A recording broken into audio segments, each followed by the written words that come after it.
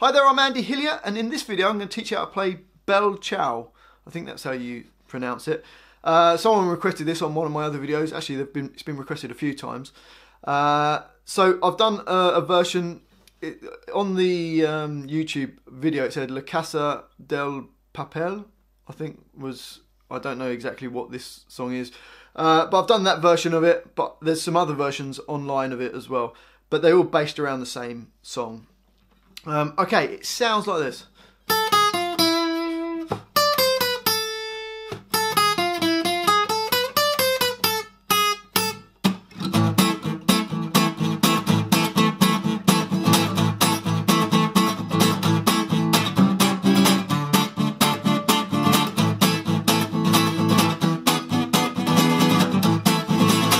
and it goes on. Okay, right, so let's learn this little intro part. Sounds nice. Just goes, little starting phrase, which goes E5, E4, B6, B5. And that starts on three hands. So you go one, two, three, and then we've got on the E string, we're going all the way up to 10, and we're going to go 10, 8, 7, 5. So 10, 8, 7, 5. So from the beginning it goes two, three. And then it's going to start this next phrase the same. So it goes E5, E4, B6, B5. Then straight to B6 again. E4, E5, E7, E10, E8, E7. And then the last bar goes 5, 4, 5. So let's put the whole of that together nice and slowly. One, two, three. Two, three. Two, three.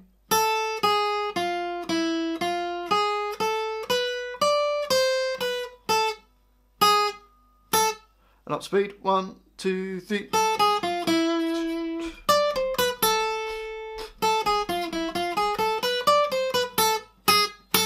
Okay, so that's that little melody part.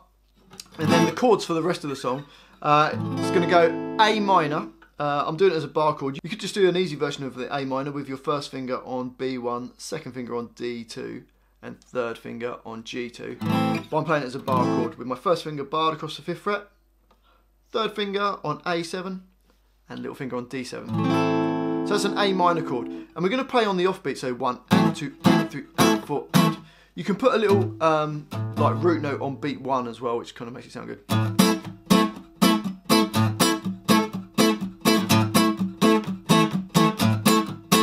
Okay, so it does that for uh, three and a half bars, and then you can see there on the fourth bar, the last two beats, we've got a C sharp diminished chord, which is your first finger on A4, second finger on D5, third finger on B5, and little finger on G6. Um, you could just play A minor through that and ignore that passing chord as a C sharp diminished if you wanted to make it easier. Um, you could just play A minor through the whole bar, but on the track it went to this C sharp diminished. And then it goes to a D minor chord, which is your first finger again barred across the fifth, um, fifth fret, but this time only to the A string. Uh, and you put your second finger on B6,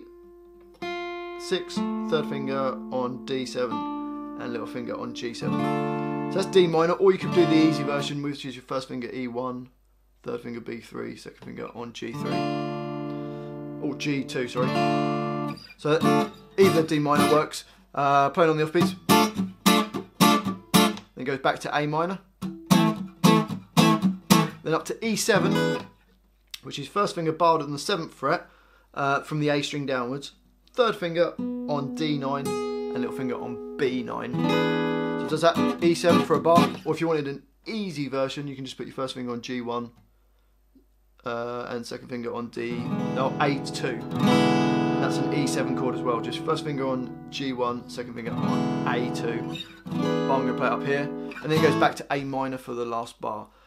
So if we put the whole of that line together, it goes one, two,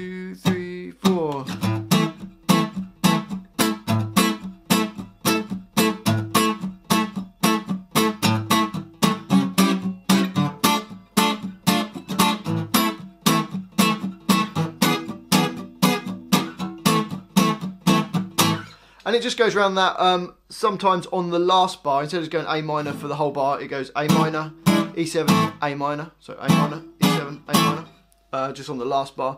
Uh, the rest of the times it just goes around that. Well, hopefully you've enjoyed that, especially the person who um, requested it. Uh, hopefully that's done the version that you wanted of it. Uh, lovely little song, great fun to play.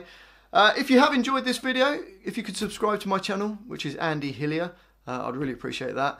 If you could give me a like, share the video, and uh, put some comments, because putting comments uh, on my videos, I think it helps it boost it up and perhaps gets me more views.